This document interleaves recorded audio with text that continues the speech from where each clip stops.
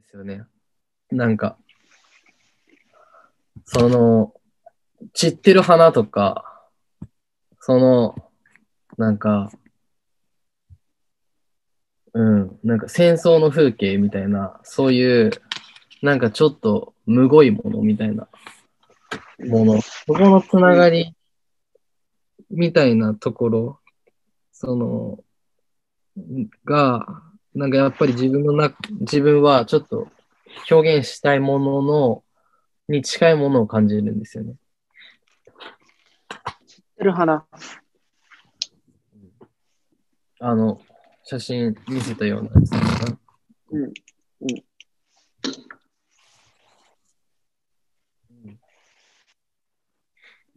あの、写真と違ったろそうです。うん。でもなんでそれに惹かれるのかは絶対明確にさないかんよ。うん。そうですよね。うん。むごいものに惹かれるんですってなったら、散ってる花とじゃあ戦争以外ないんかってなるやん。うん。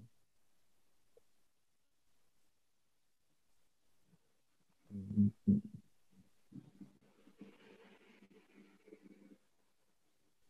あと、なん。だろう。近いね。なんか、ああ、でも違うのかな。うん。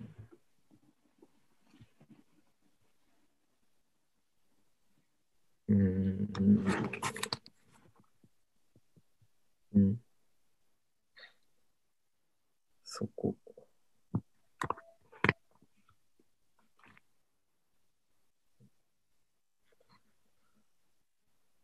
えー難しい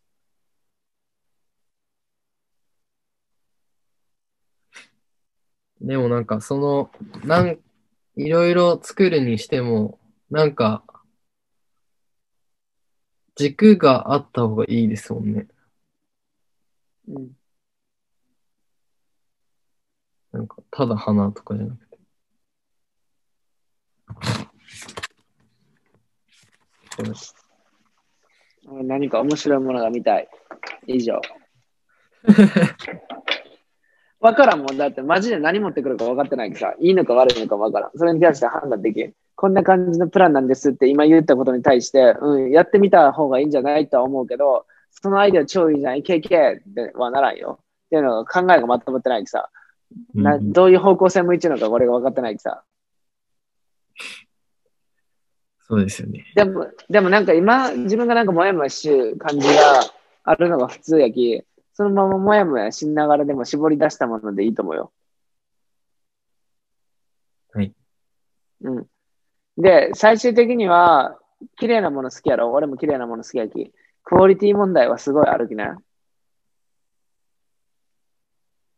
それがなんか、花が好きなんですって言って、普通になんか、散らばった花をなんかかき集めて持ってきて、これなんですって言われたとしたら、ストーリーいるし、もしかしたらその散らばった花でさ、めちゃめちゃ綺麗なさ、コラージュ作ってきちゃったりとかしてさ、まあ、あっと驚くようなもの作っちゃったら、それはそれでいいじゃん。うん、おー、なんでそうなったのって疑問になるけど、いやなんとなく作ってたんですって。そしたらそういう綺麗なものを作るってことは、どっかには理由があるかもねってなるかもしれんしね。とりあえず難しく考えずにうん作ろう。これはね、もう、そこにしかない、答えは。そうですね。あ自分が好きなものを作ってきて、自分が綺麗やと思うものを、今までやってきたリサーチをもとに。それが課題。なんかテクニックのなんか参考とかってあります？ないよ、そんなもん。じゃあもうあり、ありすぎてない。ありすぎてない。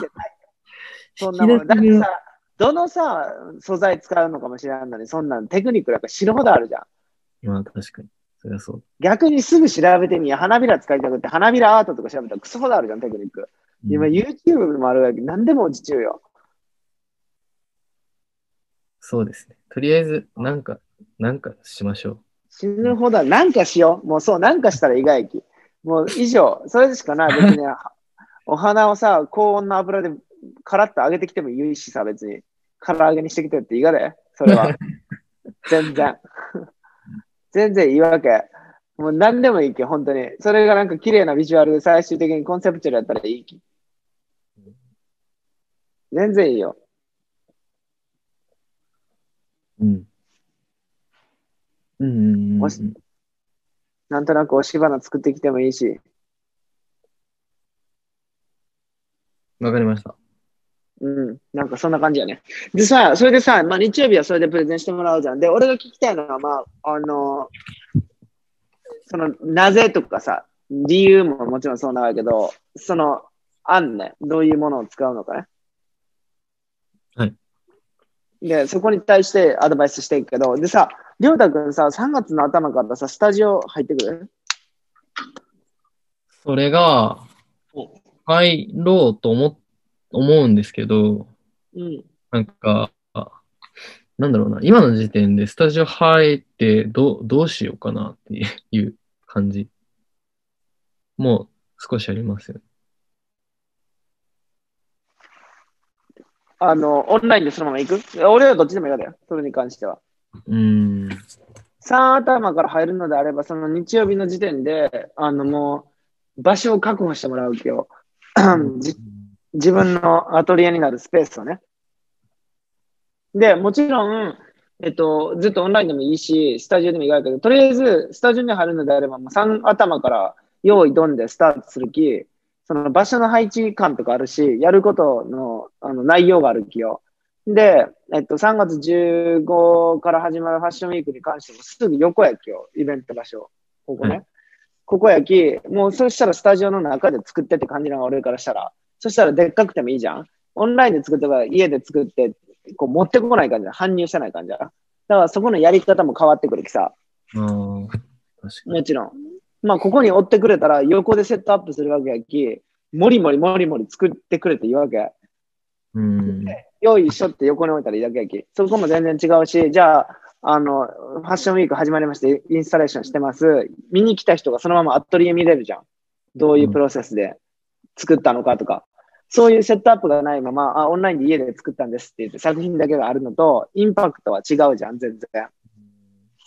だからそういう効率とかのプレゼンを今考えるき、今出す子がここにおるがやったとしたら、そういう通路作りしてから、アトリエはここですっていう見学できるような内容にしようかなとかこう考えるきさ。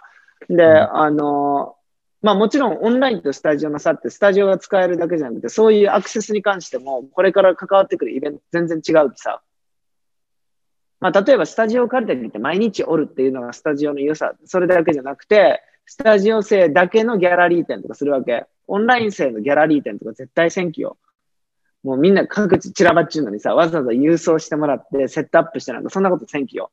あくまでオンラインはオンラインでこのまま、あの、今まで通りでやるけど、今はさ、たまたまさ、スタジオオープン前とかで、あの、俺もおるきってスタジオに集めてオンラインの子らと一緒になって授業しようけど、俺がニューヨークに帰ったらそんなことまずないし、スタジオの人だけの用の講師を読んだとかって形やき、かなりし仕組みが変わってくるきよ。うん。そう。だから、あの、特にその展示ね。